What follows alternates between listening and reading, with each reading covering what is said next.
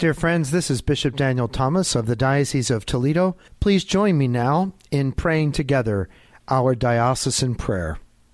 Heavenly Father, with the redeeming cross of Christ Jesus, your Son, and the gifts of your Holy Spirit, renew and strengthen us, so that by our prayer, fasting, and almsgiving, we may foster holy disciples, holy families, and holy vocations, so as to become a more holy diocese of Toledo. We turn to Our Lady, Queen of the Most Holy Rosary, for her intercession and never failing prayers. Through Christ our Lord. Amen. Annunciation Radio presents Faith Alive, highlighting the many ways Catholic Charities here in the Diocese of Toledo provides love and support for those in need. And now, your host for Faith Alive, Executive Director of Catholic Charities in Toledo, Rodney Schuster. Hello and welcome to Faith Alive, the program that shares how the love of Jesus Christ is provided through the ministries of Catholic Charities throughout the Diocese of Toledo. I'm your host, Rodney Schuster, Executive Director for Catholic Charities in the Diocese of Toledo. And our program today is going to focus on uh, a very important matter in regards to capital punishment here in the state of Ohio and a potential amendment that might be proposed and the importance of it, the significance of it, and ultimately uh, that will focus on the dignity and respect of all human life. Uh, joining us for our first segment is Father Herb Weber and uh, Deacon Ed Irelan. For those of you who don't know, and I think probably most of you know Father Herb Weber, but I'm just going to give a little bio on him. Uh, he's an ordained pe- priest, uh, ordained in the Diocese of Toledo in 1974. He recently retired as founding pastor of St. John the 23rd Parish, where he served for 17 years. During his 11 years serving as pastor of St. Pete's Parish uh, and school in Mansfield, Father Herb did prison ministry and gave talks throughout the state on the death penalty and Catholic social teaching. He spent five years ministering to death row inmates weekly. And as Father Herb said, it was gratifying but intense. I did accompany one man to his execution in 2007, uh, Glenn Benner. Uh, may he rest in peace. And he also saw two inmates exonerated. So, Father Herb, Deacon Ed, welcome to Faith Alive. Thank, well, thank you. you. Thank you. So, I guess first off, uh, Father Herb, from a, a Catholic social teaching perspective, from a Catholic faith perspective, why is the the abolishment of the death penalty so important? Well, first of all, well, besides the fact it's good to be here, it's good to be alive, and life itself is a gift. Amen. And we believe in a deep reverence for human life. And the, the, the value of life doesn't come from our innocence or lack thereof. It doesn't come from our accomplishments. It comes from the love of God, that God is the one who brings us into existence. And because of God's love, uh, we still have value regardless. And so we value all of human life. It's the complete spectrum. And I've learned over the years that if you disregard some aspect of human life, unfortunately, it starts to erode other aspects of human life. And so we have to look at the complete spectrum of whether somebody is the unborn, the uh, disabled, the aging person, the person who's chronically ill or or uh, critically ill, uh, they all have value.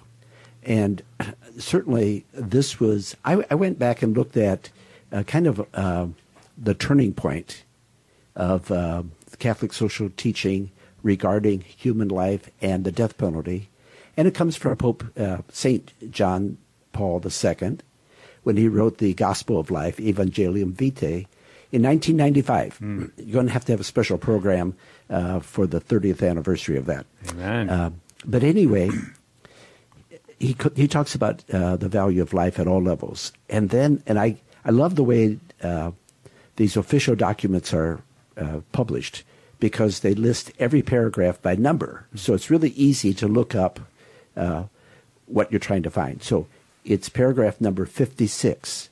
And basically, what the Pope says is we, namely the church, have felt that uh, society, I think he uses the word states, mm-hmm. states or society have a right to take a life to protect uh, the common good, to protect society.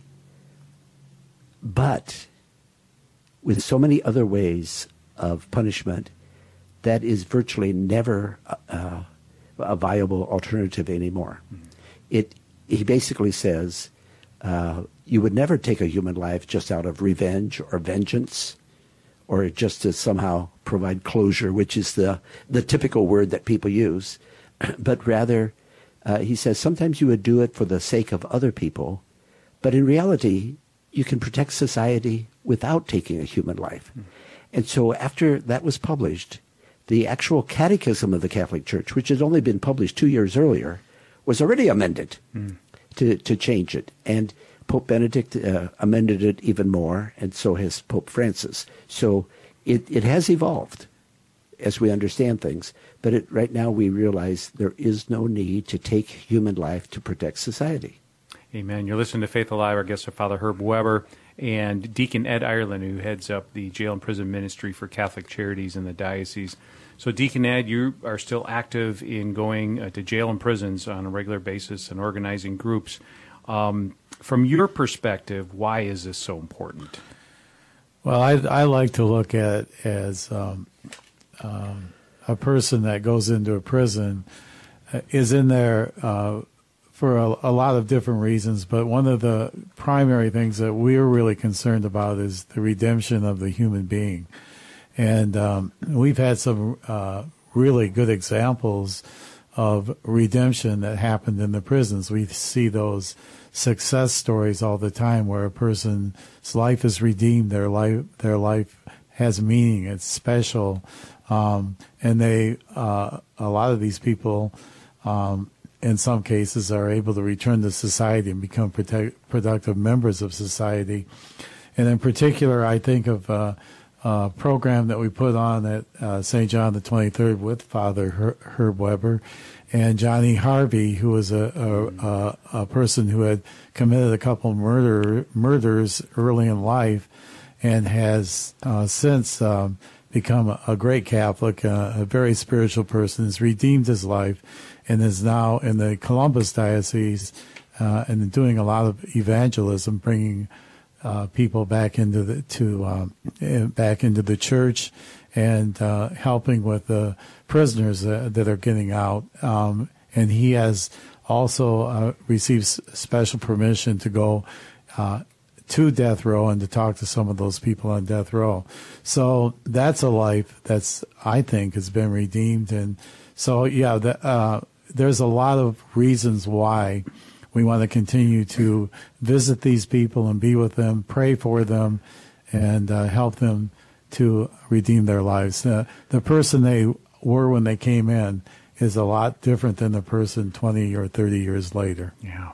And I think, you know, uh, uh, Father Herb, it's the beauty of the Catholic faith is that the dignity and respect of every human life is paramount paramount for our faith. And you know, I think sometimes we get the world gets so caught up in you're on this side or this side, but as part of being Catholic, we value and treasure every life. And of course, when a life is taken because of capital punishment, that affects us. I, I like what uh, Ed, Deacon Ed was just saying about redemption, renewal. You do see it happen. I think some people are suspicious of what they would call jailhouse religion. Mm. You know, that somebody is saved or suddenly they turn to religion because they want to get out. The people on death row don't have that. Uh, it's well, first of all, I don't believe that's true for most of the people that go to church service. I, uh, in Holy Week just passed, I had a, a, Good Friday service at Richland Corrections in Mansfield. A powerful experience uh, with the men there, and it was a good turnout.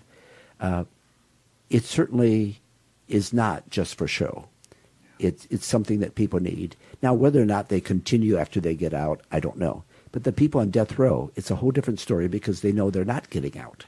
So when they discover that there is purpose in life, that God still has a plan for them, and uh, the person Glenn, whom I att- uh, assisted when he went to his execution, he had no religion before he was locked up.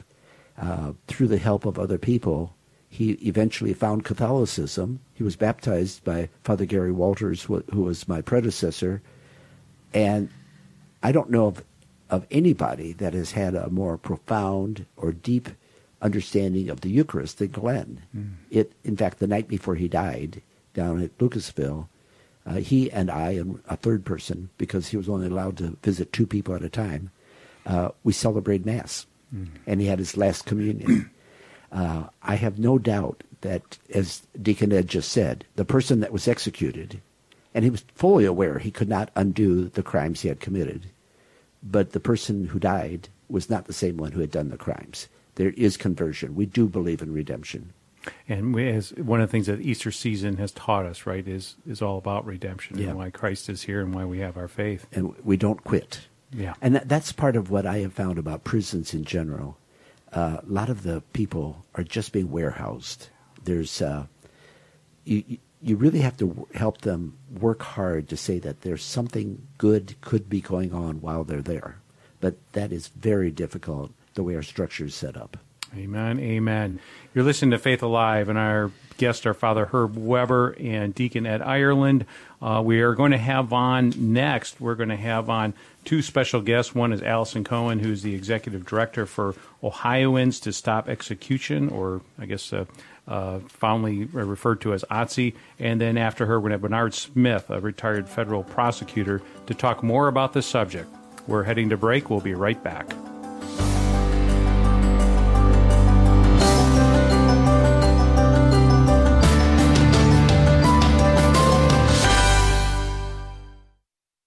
Courage, an apostolate of the Catholic Church, ministers to persons with same sex attractions and their loved ones. They also have an outreach called Encourage, which ministers to relatives, spouses, and friends of persons with same sex attractions. Endorsed by the Pontifical Council for the Family, our beloved John Paul II said of this ministry Courage is doing the work of God. Please visit the Courage website, couragerc.org, to learn more and find a Courage chapter near you. The effects of abortion are greater than most people realize. It isolates, hurts families, brings about fear, sadness, and grief. It does not need to separate you from God.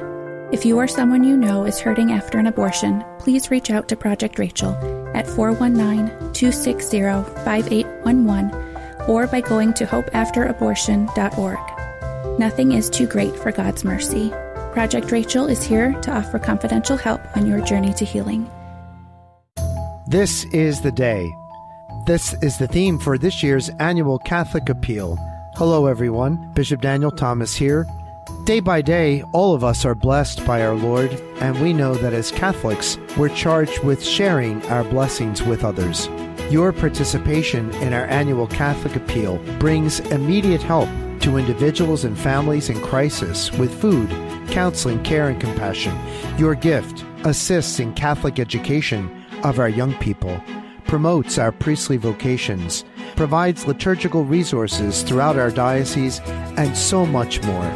This is the day. I invite you this day to please give generously to our annual Catholic Appeal at your parish or online at acatoledo.org. So grateful for your generosity to our annual Catholic Appeal. We depend on your goodness. God bless you. Now, back to Faith Alive with Rodney Schuster, Executive Director of Catholic Charities here in the Diocese of Toledo. Welcome back to Faith Alive. I'm your host, Rodney Schuster, Executive Director for Catholic Charities in the Diocese of Toledo. Our program today is, is focusing on um, uh, something that has been present in our state for a long time, and that is capital punishment and the death penalty. And today we are speaking to a number of folks about how uh, we as a state might be able to change the or amend the Constitution and perhaps forever abolish uh, the death penalty. Joining us this segment is Allison Cohen, who's the executive director for the Ohioans to Stop Executions. She was born and raised in Southwest Ohio, attended Miami University, where she, she received her bachelor's degree and master's degree. Uh, she moved to Cincinnati and became the first director of communications development for Ohioans to stop executions. Today, she's their, her, the executive director there, and she's going to discuss uh, from their perspective and what they're trying to do uh, with uh, this uh, the amendment to the Constitution. Allison, welcome to Faith Alive. Thanks so much for having me.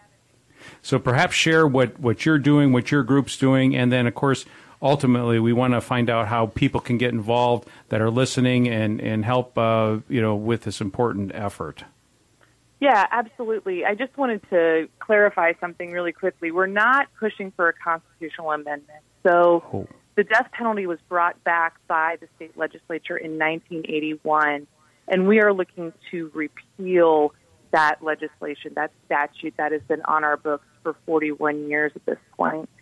Um, so, la- actually, two weeks ago, a bill was introduced in the Senate, Senate Bill 101, and that bill has the most bipartisan support that any death penalty repeal legislation has ever had. So, there are five Republican senators on that bill and seven Democrats. And we are seeing more and more and more support on both sides of the aisle for abolishing the death penalty. And I have to say, a big reason we've seen that shift is because of a pro life ethic. Mm. Republicans and Democrats, some Democrats, are waking up to the fact that the death penalty is totally at odds with the belief that life begins at conception and ends with natural death, with no exception. And so we are supporting that legislation. We have a robust grassroots effort of all kinds of people, all backgrounds, all beliefs. And we are hoping that this session will be the time that we finally repeal this wasteful and broken system. And what can people do right now, Allison, to support this? How can their voices be heard? Who should they contact? How should they contact them? Because I know when elected officials hear the voice of the people, uh, they will listen and it will help them in their decisions to make sure they're representing the voice of the people. You're, you're absolutely correct. And, and we can really boil down our campaign to getting folks to contact their legislators. Um, the more people, um, the more legislators hear from their constituents, um, the, the more uh, likely we are to succeed. So we are asking people to contact their legislators we make it really easy for folks. They can go to our website, otse.org, and we have a really simple online tool you can use, and you can fill it out. It takes less than a minute. It automatically finds who your state representative and state senator is and sends that letter on your behalf. So that's one really quick and easy way that people can get involved. But of course, there are a number of ways that um, people can get involved in this exciting campaign. And we're really inviting people to be a part of history here with repealing the death penalty. You listen to Faith Alive. Our guest is Allison Cohen, who's the executive director for Ohioans to Stop Executions. Allison, for, for you personally, what's this been like with your journey being the first director of communications and development, and now in your role as executive director? Uh, how has this affected your just your personal journey in getting to this point of hope where this might be repealed? You know, it's really interesting. When I first started working for OTSE, um, Ohio was actually known as the Texas of the North. Mm. We were executing people um, every other month, roughly. Um, and, um, you know, at that point, a lot of OTSE's work was focused on clemency campaigns. So in the final months leading up to an execution, their last shot was um, clemency from the governor. So we worked to support those campaigns through strategic communication efforts and similar to what we're doing now, getting people to, at that point, contact the governor to recommend um, clemency for, for people facing execution. And it was, it was tough. It was hard. It was depressing to just you know, really dive deeply into these cases and see all of the issues and all of the questions of innocence.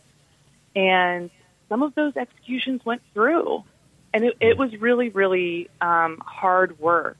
And um, so, I, obviously, I haven't been working for OTSE all this time. You know, I did some other work um, in other advocacy spaces.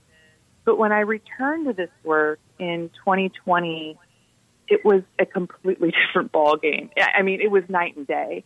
Um, you know, Governor DeWine has imposed an unofficial moratorium of sorts. Um, we haven't had an execution in five years, and that pause has really given our state leaders the time to consider is the death penalty really working for us?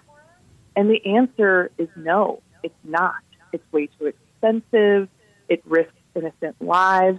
And again, as I mentioned earlier, a lot of people are coming to this from their hearts, from their faith, to say, I believe that life is a sacred gift. And I don't believe that the state should have the power and the authority to take away that life, no matter the circumstance.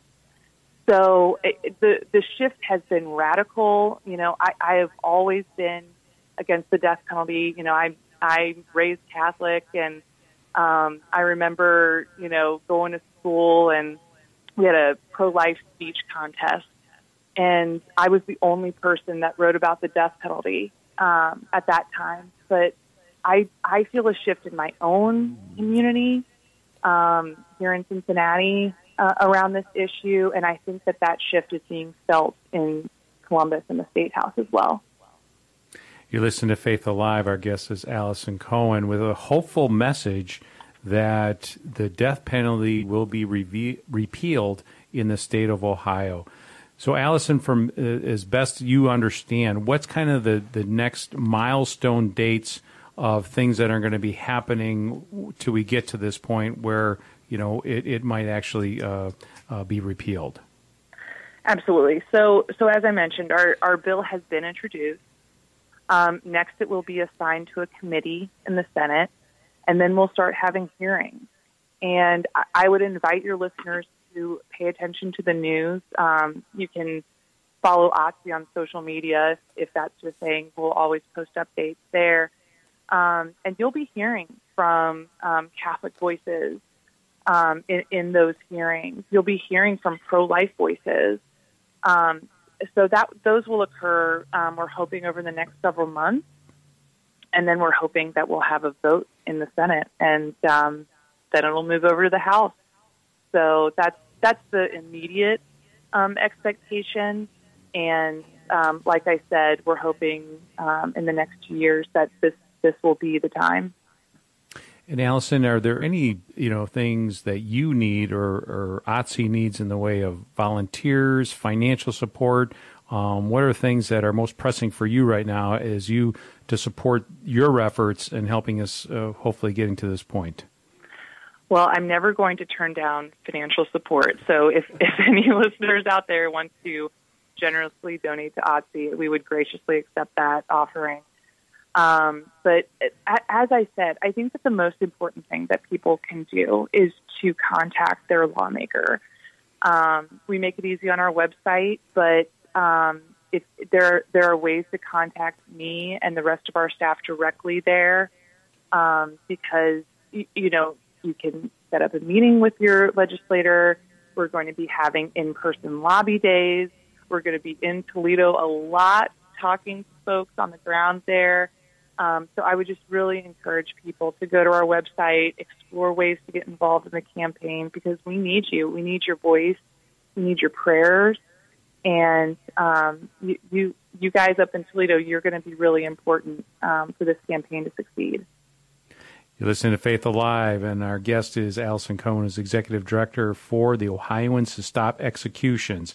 Uh, the website is OTSE, O-T-S-E dot org or you can go to social media and uh, you can find them there in ways you can help and support this effort. Uh, I just want to you know ask Father Herb, you've been involved in this work for so long. Um, yes, early, early on. Yes. Yeah, so from what you know, Allison just shared, uh, what is it? You know, how does it hit you? Well, when she talked about uh, ever since she was a child and writing a, a an essay about uh, the death penalty, I can remember, I'm 75 years old, I can remember as a kid, and that was before the Supreme Court decision uh, took out death penalties way back in what '67. Uh, but I, I remember uh, opposing the death penalty even as a child. I, I, would hear about it, and it bothered me then. Uh, but back to your question of uh, today, I find that there are some people who oppose the death penalty only because they know it's a broken system. Mm. Innocent people are executed. Uh, sometimes there's uh, questions of uh, racism involved. Uh, certainly, impoverished people. There's uh, even the locale in which you you live and who are the judges where you happen to be. But we're taking a position not just because it's broken. We're saying the system itself is uh, antithetical of our Catholic faith and certainly of a respect for life.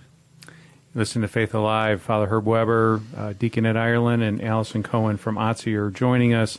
Uh, Allison, I don't know if you wanted to, to follow up on anything Father Herb just shared. No, I, I don't think so. But but I'm I'm heartened to hear that there are other people out there um, who've been against this since they were a kid, and I, you know, I, I don't even remember what it was specifically that led me to just just absolutely rock solid conviction that we shouldn't be taking away anyone's life. Um, but wh- whatever that was, whether it was my Catholic education or um, whatever, I'm I'm grateful because you know, Father Weber, when you were talking about how um, one act of violence degrades the rest of society, I think that is so true.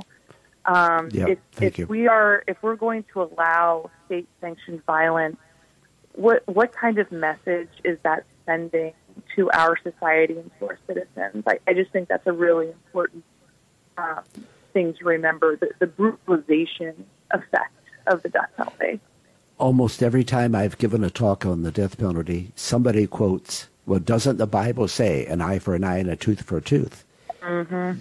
But just uh, about two weeks before Lent began, we had that passage on, at Sunday Mass from the Sermon on the, Route, on the Mount, where Jesus explicitly says, No, that's not what I'm right. saying.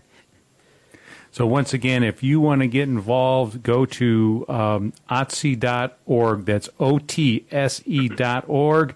Go to Facebook. Um, and, and I know Allison and their crew will be you know, posting things regularly, giving updates, uh, and then contact your elect- elected officials. And, and if you go to their website, they will make it easy. We're talking about the repealing of the death penalty. We're going to head to break. We'll be right back.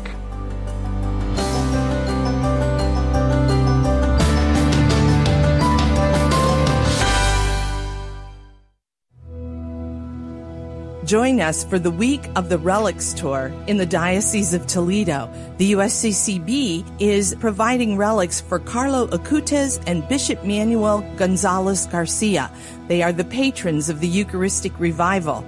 We will begin in Edgerton on Monday, April 24th. Second day, Tuesday, April 25th, we will be at St. Michael the Archangel in Findlay, Ohio.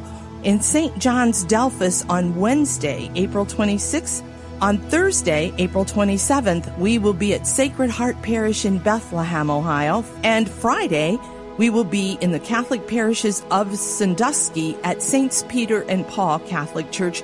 On Saturday, April 29th, you can join us at Christ the King Parish in Toledo, Ohio. Join us, won't you, as we venerate these saints of the Eucharistic revival. Every day, abortion affects the lives of thousands of women. But for every woman affected, there is a man who has also lost a child. Too often, we as men don't think we can feel hurt or sadness over this loss, but there is help and there is hope.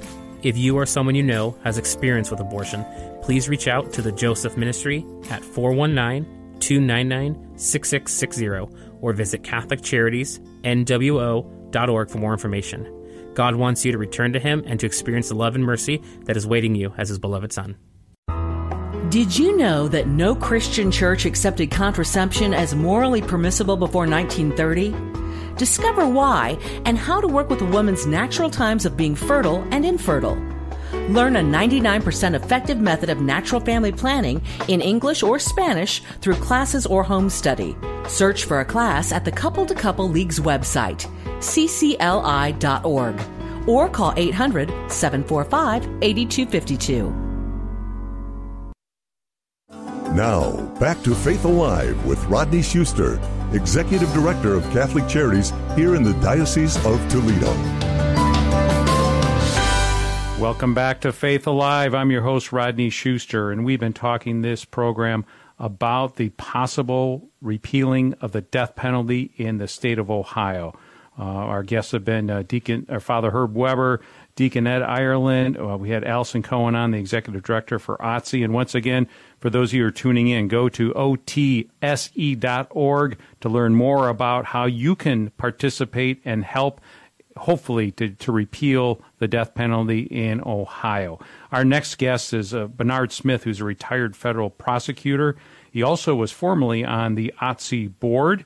During his 31 year tenure with thir- with the U.S. Department of Justice in Cleveland, he prosecuted and supervised public corruption, organized crime, labor racketeering, and appellate cases. Before joining the Department of Justice, he served as a law clerk to a circuit judge on the U.S. Court of Appeals for the Sixth Circuit. He received his law degree in 1982 from the University of Michigan, where he was on the law review. He received his bachelor's degree in English and political science as well. So, Bernard, welcome to Faith Alive. Good to be here. Now, I love that you're crossing state boundaries. You've, you know, you were in Cleveland, you're University of Michigan. So w- that's how important this issue is. It doesn't matter what state you're in, Michigan, Ohio. We, have got one focus at, at and task at hand here, don't we? You know, it's good that you raised uh, the issue of Michigan. I'd like to start right there. Um, we can compare Ohio to Michigan. It's often argued by prosecutors in Ohio that they need the death penalty to be able to use it as leverage to extract guilty pleas from first degree murder defendants. That, in fact, isn't true, and Michigan proves it. Michigan, which is a stone's throw away from where this program is being produced, has not had the death penalty since 1846. That's 177 years ago. What that means is that on a practical basis, on an everyday basis, Michigan's prosecutors for over 175 years have been perfectly capable of litigating their first degree murder dockets without needing the death penalty as leverage to use in plea negotiations. I'm sure Ohio's prosecutors would agree that they are as equally as talented, resourceful, and gifted as Michigan's prosecutors are. And so if Michigan's prosecutors can get along without having the death penalty, so can Ohio's. It's not needed on a practical basis. You're listening to Faith Alive, and you're listening to Bernard Smith, who's a retired federal prosecutor and former OTSE board member. So, Bernard, in, in all of your work, um, from your perspective, is this the closest Ohio has been to repealing the death penalty? Yes, uh, it is. Uh, there was no chance of it uh, in the 80s, 90s, and in the early 2000s. Clearly not. Um, and I would like to uh, spend some time on a couple of practical points that Father Weber alluded to, and I'd like to flesh some of these things out for your listeners. Uh, Father Weber uh, mentioned the issue of convicting and executing the innocent.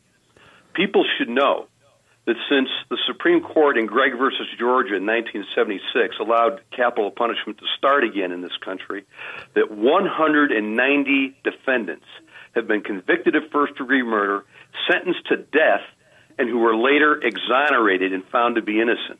11 of those cases have occurred right here in Ohio. Not Texas, not Georgia, not Oklahoma. Right here in Ohio. Uh, Ohio has executed 55 men since 1981 when uh, uh, the death penalty was brought back in Ohio. So if you take the ratio of 55 executed and 11 exonerations, that's a 16% error rate in first degree murder cases where there is an exoneration involved.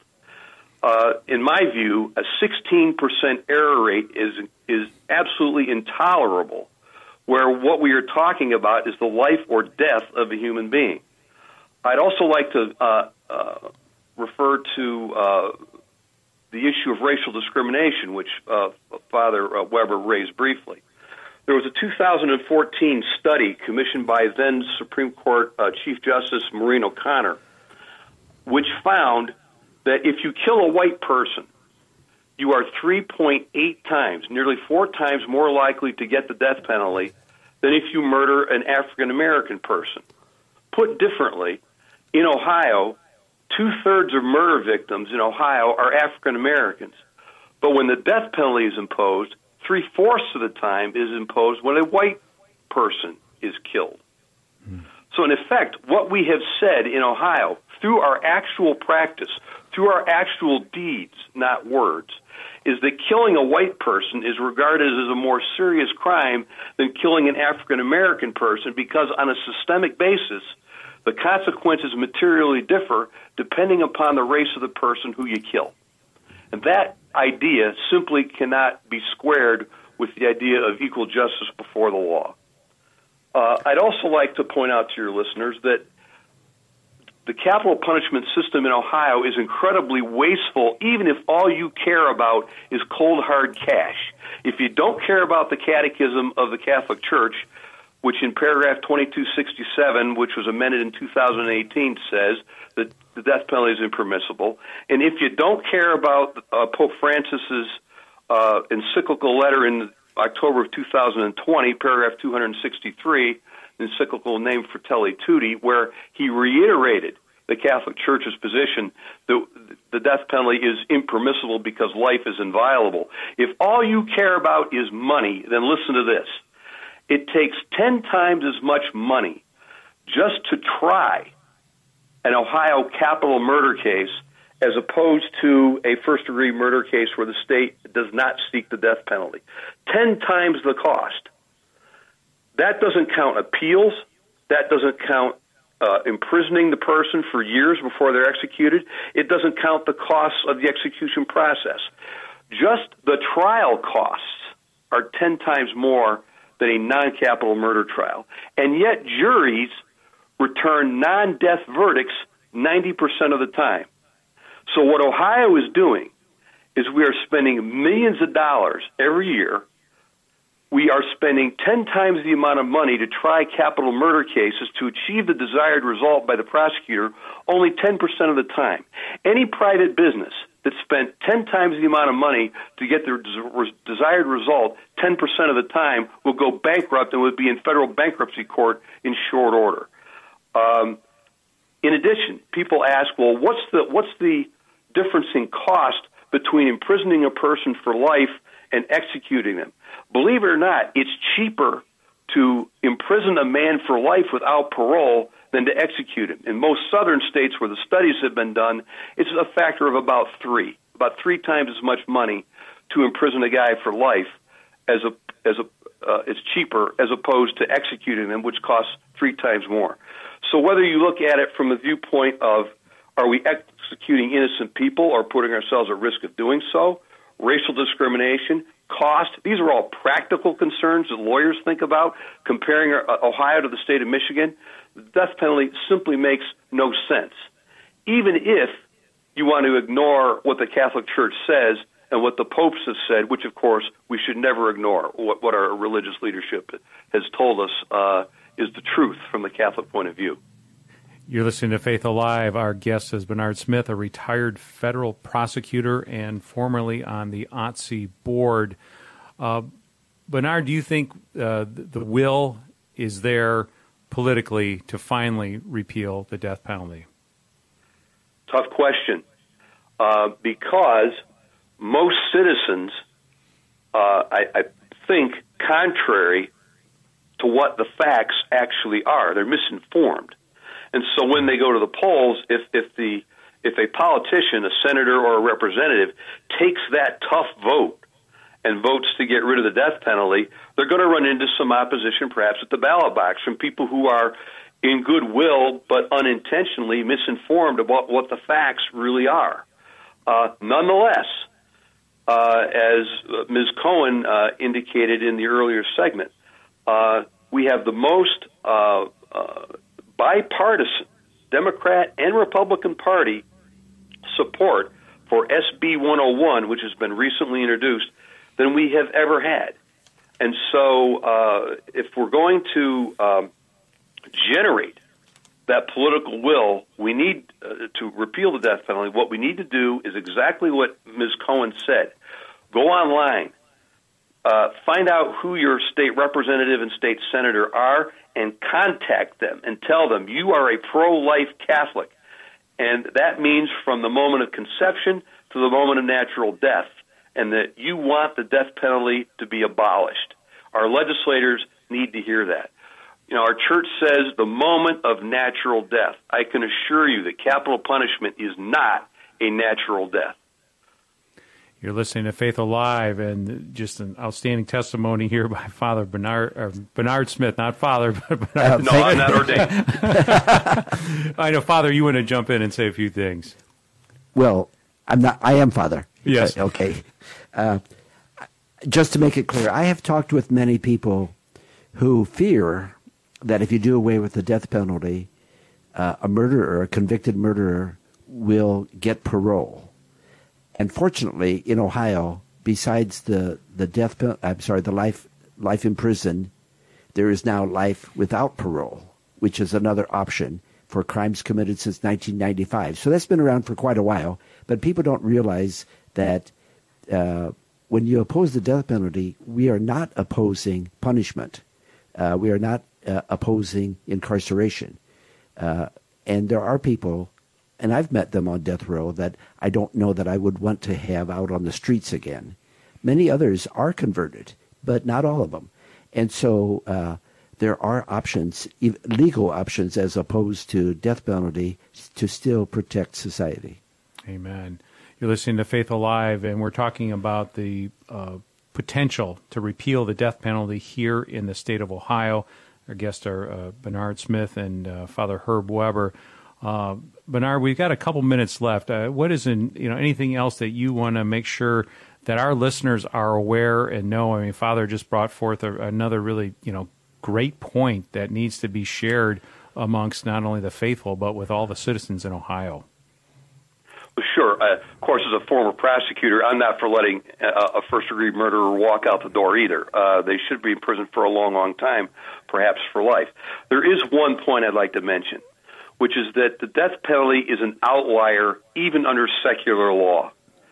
Under secular law, to be allowed to engage in an, in an intentional killing, right?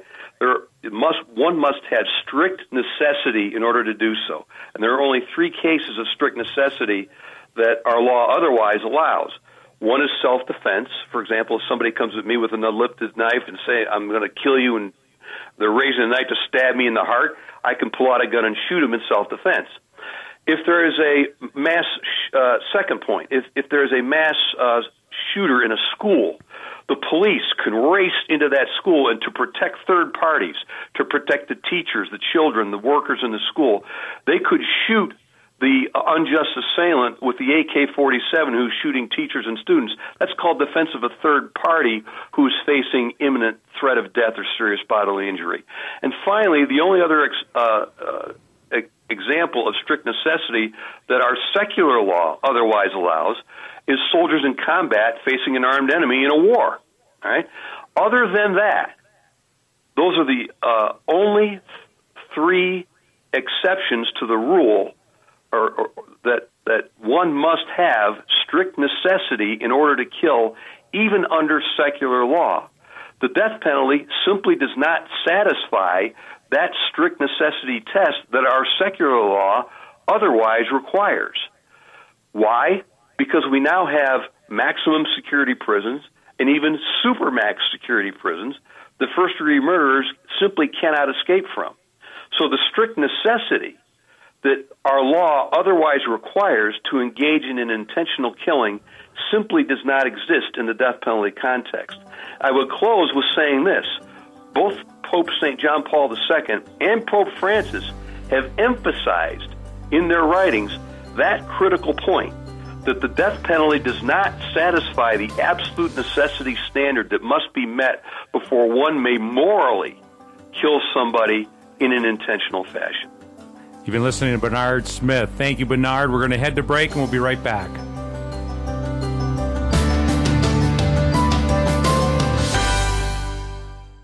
It's time for Annunciation Radio's 2023 spring campaign. Our theme is Say Yes. We're celebrating the 100th anniversary of the birth of Mother Angelica and giving thanks that she said yes. We're having a big dinner and a birthday party on Thursday, April the 27th at the Pinnacle in Maumee.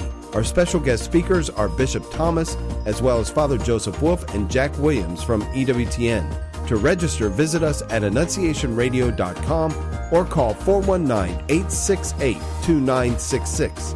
If you recently received our newsletter, you also got a copy of my new book, Faith Over Fear Lessons from My Life with Mother Angelica, which highlights my own personal experiences with her and how those interactions set the course for my life. I can't wait to celebrate Mother Angelica's extraordinary life with you. Again, for more information or to register, visit us at AnnunciationRadio.com or call 419 868 2966. This is Dale Ahlquist with a Chesterton Minute. Have you ever heard someone say, since every religion claims to be true, well, then none of them are true? Even though this is not a very intelligent comment, it does not prevent people from saying it. G.K. Chesterton says probably one of the creeds is right and the others are wrong. Logically, most of the views must be wrong, but there's nothing logical to the idea that all must be wrong. Think about betting on a horse. Many people bet on the wrong horse, but some bet on the right horse. And sometimes even the favorite has been known to come in first. But that's the point. Something comes in first. The fact that there are many beliefs does not destroy the fact that there is one well founded belief. So don't say that the variety of beliefs prevents you from accepting any beliefs. It's not logical, and it's not a very good way to bet either. Want more than a minute? Chesterton.org.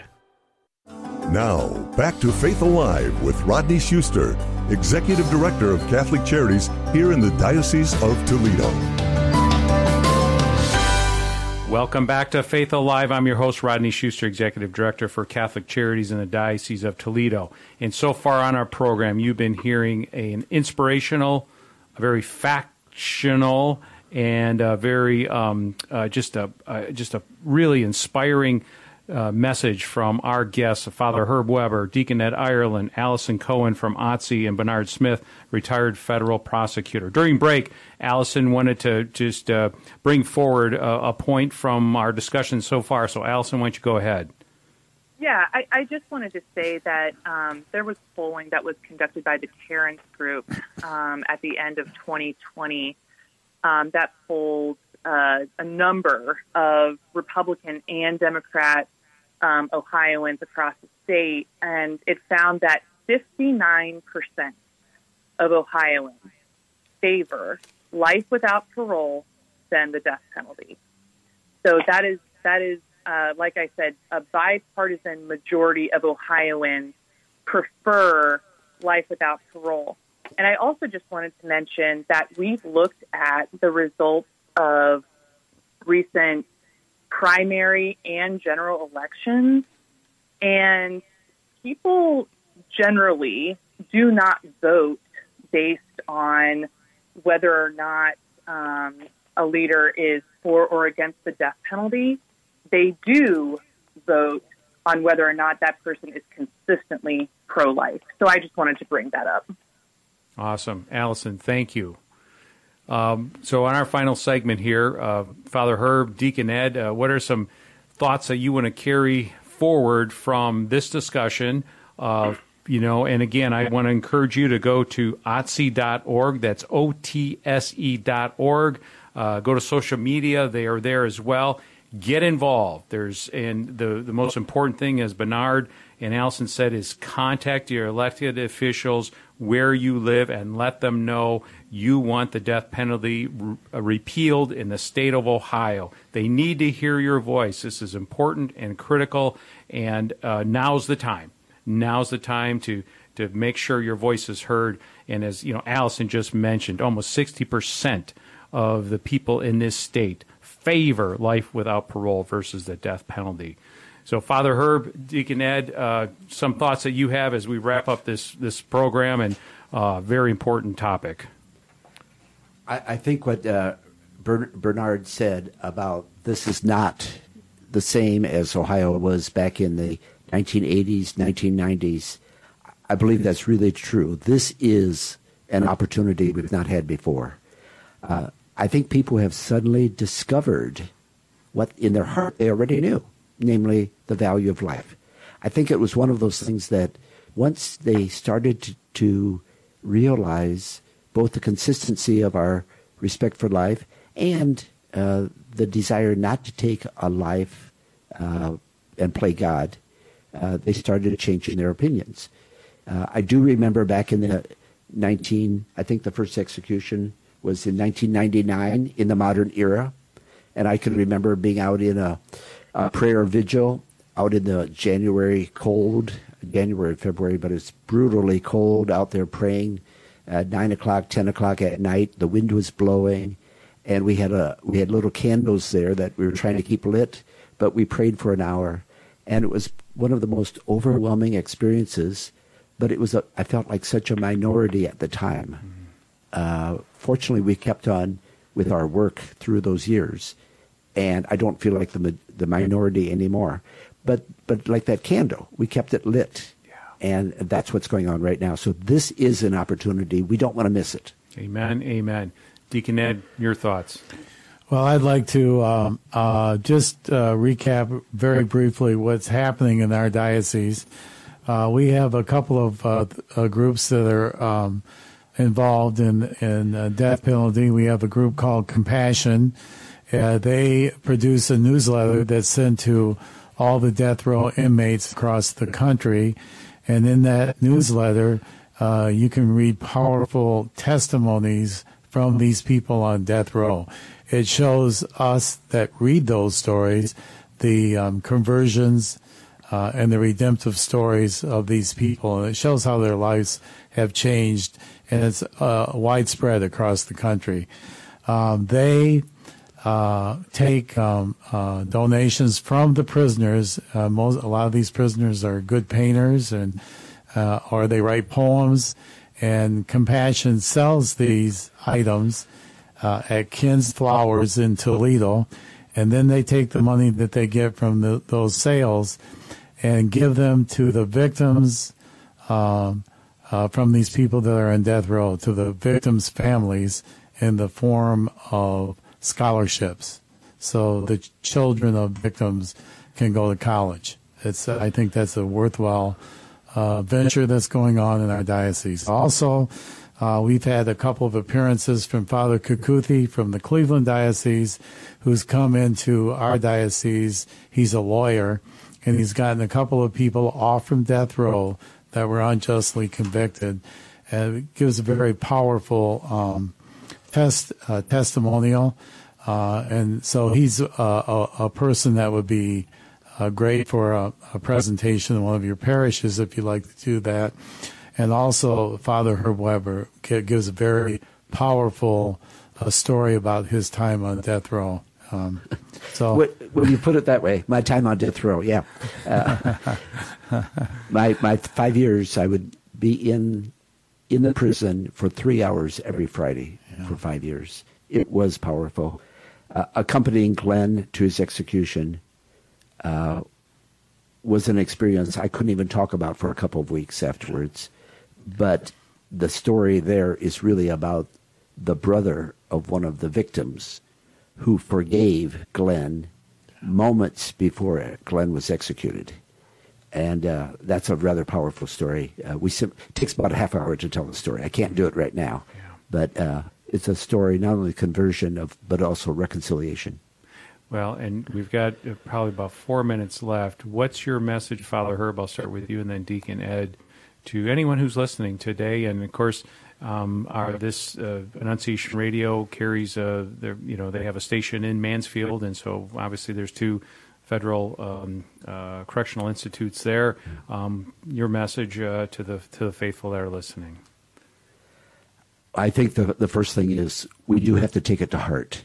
It's very easy to hear something on the radio, to maybe think I, I do want to respond, and then it gets put off so when Alison was saying how easy it is to contact uh, your local representative or state senator, uh, that was good news. and she, I'm glad it is easy. So I, I do encourage people to do something.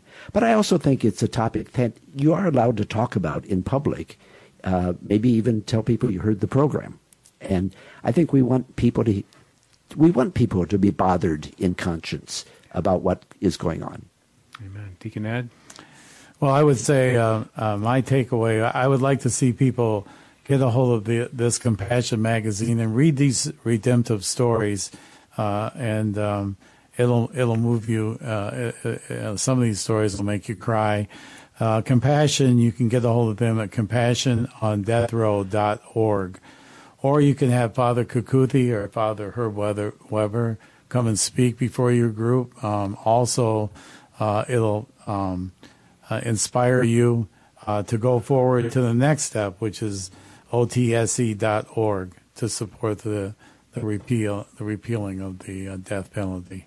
Amen. And, and if you want to follow up and say, "Gosh, I'd love to have Father Herb," you know, come talk to our, our parish, or uh, you know, uh, uh, Father uh, Kukuthi come from Cleveland, uh, feel free to call the Pastoral Center. That's two four four six seven one one. Ask for Deacon Ed Irelan, or his email address. It's D Irelan. That's Ireland without a D. D I R E L A N at Toledo Diocese.org. You can go to Catholic Charities uh, NWO.org website to find out more. But please reach out to us because uh, this is the opportunity.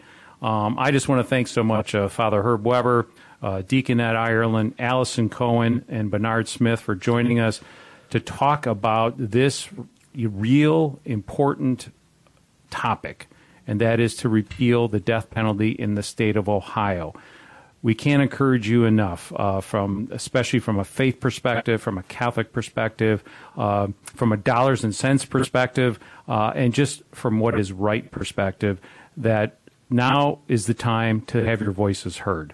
And the, one of the best ways to do that is go to otse.org, O-T-S-E.org. Uh, you can find out how you can get a hold of your elected officials. Obviously, keep in prayer. Um, can use financial support. So Thank you so much. Um, you've been listening to Faith Alive. Until next week, God bless. You've been listening to Faith Alive with Rodney Schuster. For more information about Catholic Charities programs and services, visit CatholicCharitiesNWO.org. You can listen to this and other episodes anytime on demand on the Annunciation Radio mobile app and at AnnunciationRadio.com.